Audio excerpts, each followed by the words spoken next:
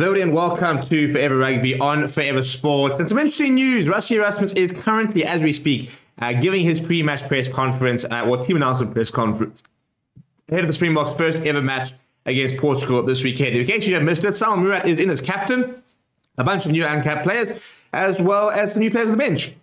Um, but more importantly, maybe looking sort of into the rugby championship, is that he has also given an injury update on a few of the players, and uh, not good news at all. Uh, with uh, van der Franco Mostert, as well as Pieter-Steph du Toit, all set to be out for quite a while, which extends the sort of, uh, I wouldn't say injury crisis or such, but there are a pretty long list of players who are currently unavailable uh, for the Springboks. Before we get into it, please do smash a like on the video. Please do subscribe to the channel as well. So, over the Island Series and for this Portugal test, we have been without the likes of Steven Kitshoff, uh, de Jager, Jean Kleyn, Jasper Wiese has been uh, suspended, for example. Uh, Cameron Hanekom um, has been injured as well. And um, so we have missed, been missing quite a few players. Uh, Jaden Hendrickse currently out. Um, so we, there are definitely quite a few players, uh, Canan Moodie as well, um, who have been missing already. You know, I play a list of about six or seven. Um, and now that has actually unfortunately been lengthened. So Franco Mostert has got a broken leg apparently uh, and is out for six weeks um, at least. Um, sounds like it should be more. So I think maybe broken leg might be a little bit of a trivial way of actually of having put it. Um, maybe a bit more complicated than that. It seemed more like a sort of a knee injury when he sort of walked off, kind of walked off with a bit of a limp. Uh, the big news though is der Merwe as well ruled out for six weeks, which was heartbreaking for him because I do think he was in line to play again against Portugal, and I think he might have had an outside shot of going to Australia. Um, and then Pieter-Steph du Toit, one of the most inexpensive players from the Boks is also set to be out for about four to six weeks. He's definitely apparently out of the Australia tour and will be in a bit of a race against time to face New Zealand at the end of August. So luckily there is a bit of a, a break between now and those All Black tests because We've got Portugal this weekend, then we've got a break, then we've got uh, we've got Australia for two weeks, then we've got a break. So there is time, hopefully, for some of these players to hopefully get back into it. Um, the likes I think Canan Moodie will come available quite soon. Hopefully, Pieter-Steph du Toit can be ready for that All Blacks test.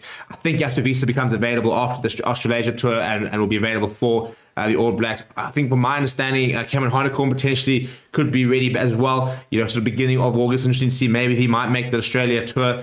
Um, so it's not great news from a Springbok perspective, but silver lining, I suppose, we're going to have to be forced to look at our depth. So, for example, three locks now out. You know, Eben Etzebeth, the only uh, lock remaining really from the five we took to the World Cup. No Marvin Orie in the squad. Um, sorry, and RG Snyman. RG Snyman is there, but uh, no Franco Mostert, no Jean Kleyn, and de Jager didn't make it to the Springbok to the to the, the World Cup squad, but as a previous World Cup winner. So yeah, we're definitely gonna have to sort of extend our, our, our lock depth. And interesting to see, for example, that Ruan Venter is covering lock this weekend. Ben Jason Dixon um, is, is also something that can cover a lock, but also interesting given the, those injuries, we haven't called in somebody like a Ruben van Heerden. Uh, in terms of Pieter-Steph du Toit, well, I think it's a big game for Ben Jason Dixon this weekend. You can really, I think for me, put his hand up and put himself into that potential role as the succession plan for Pieter-Steph du because I do think that he plays a very similar type of game. So there's definitely spots up for grabs here. You know, opportunity in, in the lock. Salmaan Moerat needs to try and put his hand up. Maybe everyone Venter. You know, in, in the flanks, for example, Ben Jason Dixon, Albert Lowe, they're going to go toe to toe.